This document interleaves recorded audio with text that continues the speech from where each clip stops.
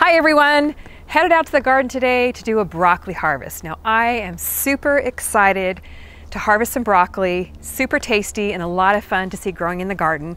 Now typically here in Southern California I do have a tough time getting a broccoli harvest. Let me tell you why. Broccoli loves the cool weather. Now I grow it here in the wintertime. Our winters are very mild with very little frost. But the last few winters have been particularly hot and dry.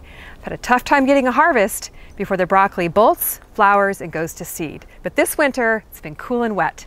So I want to show you what I have going on over here. I'm so excited. Well, here I've got a nice little raised bed of broccoli, Brussels sprouts, and cauliflower. Now I am super excited because my broccoli is looking great. And I have a lot of questions on when to harvest broccoli. So let me just share with you a few little tips. So ideally you should harvest broccoli when the little florets are nice and tight because these are actually little flower buds. So you want to harvest them before the flowers open up because that's when they're the tastiest and that's when they're going to look really, really nice on your dinner plate.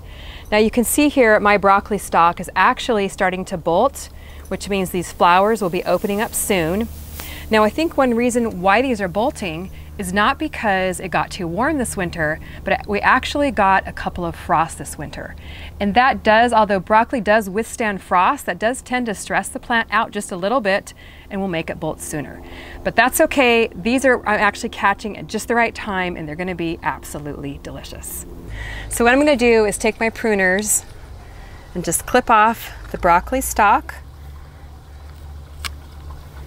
right here at the base. And ideally, you would want to harvest your broccoli before it bolts. So when it bolts, that just means it, you, it shoots a tall stalk up here like this one had.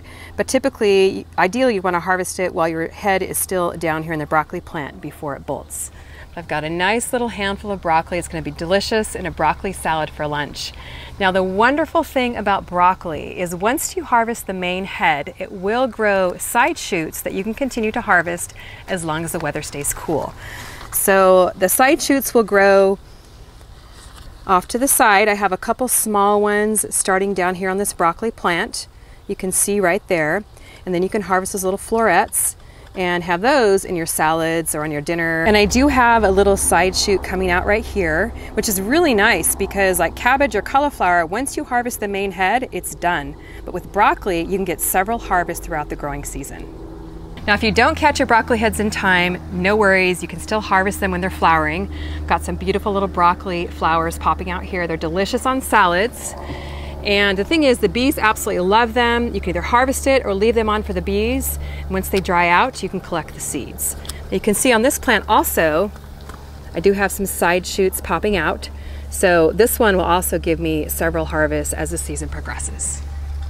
Well, there you have it, a few little broccoli harvesting tips. Oh, and by the way, you can also eat the leaves in salads or as wraps. Comment below, let me know if you're growing broccoli in your garden and how you like to eat it. And make sure you head over to my website, CaliKim Garden and Home. There's a free growing guide over there called Grow Three Vegetables in Six Weeks that'll help you get started with your spring planting. Thanks for watching. We'll see you on the next video.